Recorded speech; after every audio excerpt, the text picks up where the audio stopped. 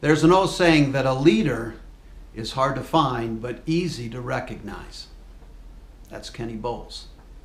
As an overnight police reporter, he covered the strange stuff that often happens between midnight and 6 a.m., and he did it well. How do I know? Because I never heard a complaint about him from news director Ray Miller, and that is a credit to Kenny's professionalism. Kenny is a working mentor of mine, a working mentor of mine, and he's earned this award. I wouldn't know the value of the pursuit of journalistic excellence without him. Kenny is without a doubt one of the best managers, best colleagues, and best friends I've ever had. And it's rare in this business to experience all three in one person. This is a newsman's newsman, and I was proud to be around him and to work with him. I've known Kenny Boles longer than anybody in the business. For Kenny, getting into broadcasting was his way out, out of running the family grocery store. When the local cable company installed a television studio into Lufkin High School, I fell in love. My dad was in the grocery business. I hated the grocery business. Uh, and I knew that it was going to be my life in Lufkin if I stayed with it. I began looking for a way out. And then that gave me the nerve, shortly after my senior year started, to go out to the TV station. Even though it was on a small scale, every, every aspect, every skill that it required, everything from operating the camera to directing the show to working audio, changing the light bulbs, sweeping up at the end of the day, I, I was there and I volunteered to do everything. It was new, it was so different from anything I'd ever done. It really had nothing to do with journalism, that came later. It was my ticket out of the grocery business and out of Lufkin. I was ready to leave my hometown. Kenny was a sort of news prodigy. I don't think most people know that he was hired here at KPRC TV when he was only 19 years old. The newsroom was run by Ray Miller, a legend in the business. On his first day on the job, this kid from the sticks shows up in the big city, and the first place he is sent is to a mass grave. It scared me to death at the time. I was not aware that this was a big deal. I kind of thought this must happen every day, every week in Houston. It's Wayne. Yes, this is Mama, baby. Mama?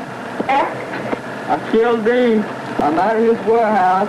I'm with the police, Mama. After a week of working 24-hour days, uh, I went to the to the news director Ray Miller and I said, I, I think I'm going to go back to Lufkin. I said, I don't think I can do this every day. And he said, Well, you know, Kenny, this does not happen every day. This has never happened before and likely will never happen again. This was a big story. This was history that you witnessed, and you'll be able to talk about this the rest of your life and the rest of your career. As some of you know, in the early years, Kenny appeared in front of the camera, not behind it. The League of Women Voters is appealing to Americans. Those really tapes of my early anchor work, which I have not seen for 40 years, it was like I was looking at someone I knew, like an old friend. I knew him from the past, but I had moved on and left him behind. And I also look at that old anchor work thinking, you know, that guy could have been good. If I was able to work with him now and mentor him and give him a few tips and a few ideas, I could have made a real anchor out of that guy. Let me tell you about the time I worked with Kenny Boles. The Michael Jackson story was breaking. Boles was standing behind the desk on the phone, usually two phones, working that story himself. This is an executive who is sending the reporter out to cover a story with an exclusive already in his hand.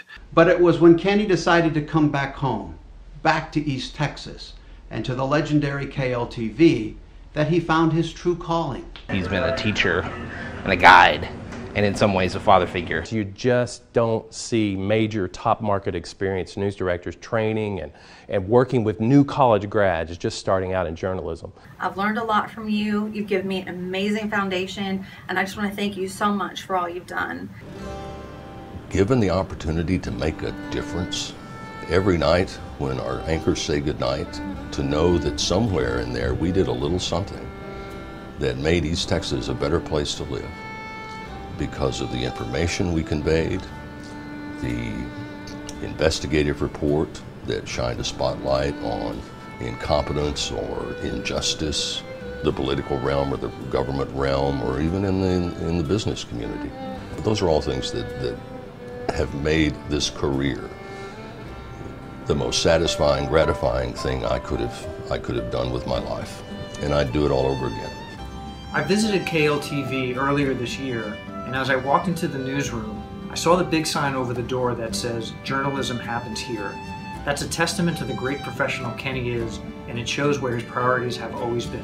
Every time you reach out to give a piece of advice or to assist and to help younger journalists, uh, you're playing a hand in the next generation. Uh, they're they're going to carry the torch on, uh, and to have the, to have the opportunity to influence them in a positive way and in a good way uh, is is just one of the most incredible rewards of doing uh, what I do.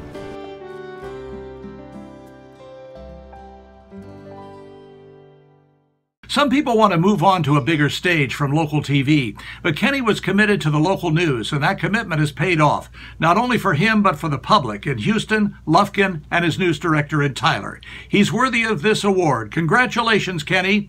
And by the way, I still miss Texas. At the time, this was the 10th largest market in the country. Uh, the newsroom was staffed by people, most of whom had worked most of their careers to get here. They were all much older. And I think you'd have to say the KPRC newsroom at that time had more hot dogs than Coney Island. It was tough competition.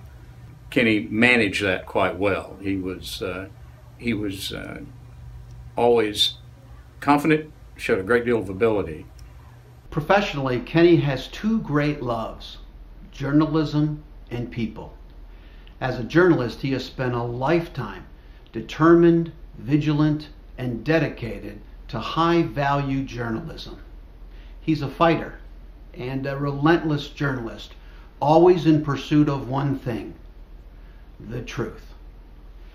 In our industry, there is nothing, nothing more important than that. Without him in my career, I wouldn't be able to guide young journalists the same way he's guided generations of journalists. I'm grateful to the Academy's recognition of what many of us already know respected, valued, and a true Lone Star. Thank you, Kenny Boles, and congratulations. You deserve it. Kenny, congratulations. I'm so excited for you. I just want to thank you for everything you've done for me. You were the first person to believe in me and give me my first chance. You also gave lots of other people their first chances. Your leadership, compassion, your dedication to our East Texas viewers, there's no one else like you. His passion, his calm, decisive demeanor, even in the face of pressure, and his determination to bring out the best in you are exemplary. One brief example actually became one of the highlights of my career. I'm airborne on Air Force Two with my photographer covering then Vice President George H.W. Bush's trip to Austin at the very moment of the attempted assassination of President Reagan. The schedule was scrubbed. Air Force Two would refuel in Austin and head straight for D.C. And we reporters would have five minutes to get off the plane, race for the one payphone, and call our desk to see if we could stay with Bush or stay behind. Kenny answered on the first ring at KDFW in Dallas. And breathlessly, I said, I have great stuff. I want to stay with Bush and head to D.C. I could still hear his answer today. Without missing a beat, he said one word go. Kenny, congratulations on such a coveted honor, hard earned and well deserved. I've known Kenny Boles for many years. Kenny's been a great partner to ABC News and myself.